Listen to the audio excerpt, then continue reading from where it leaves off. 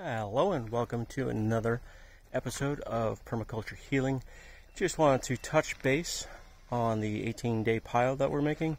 Um, do want to note, buddy of mine pointed out that the original pile that I started was not quite a Berkeley pile. So I've gone ahead and made a Berkeley pile just to compare the difference whether the Berkeley pile in the cage setup to start is as effective or more effective than the pile that I just started on the ground here. So this is the second flip. So it's day nine and you can see it's really starting to look a lot like compost, right? You still see some bits and grass and hay, some leaves and stuff, but overall, halfway through, it's looking more like compost than not. Now, re- results remain to be seen. So we got uh, several more flips on this one. And then this here is just some,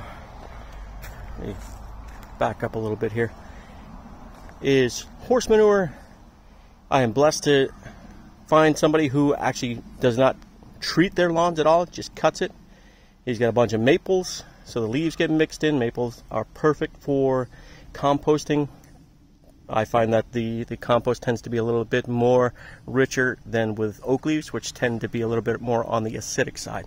So here's got to be a five foot across, uh, three and a half foot, almost four foot tall, and it's layered in with the grass clippings and leaves, which you can see I still have remnants of a pile here, um, and then some fresh horse manure which I am also blessed to find a local stable around the corner from where we live to take care of my, my nitrogen needs.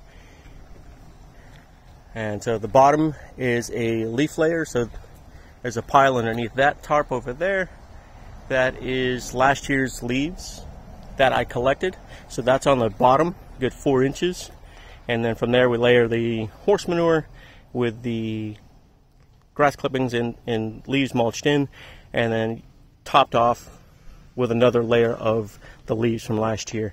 Every layer was fully saturated. And looking from the outside, you might not be able to tell, but there's tons of water in there. I may have to add some more. We'll see when I turn it in five days. And yeah, so let's see if this is going to be any better than just doing a straight pile. I know, you know, there are some folks out there that be like, you didn't do it this way. It's not the way. So I'm going to try it the way, the Berkeley method, 18 day compost, and a cage system with much more volume versus the pile that I started the other day, which no, nine days ago. And I'm guessing that the results are going to be roughly around the same. I just might have more in this pile than the other one. Thanks for watching.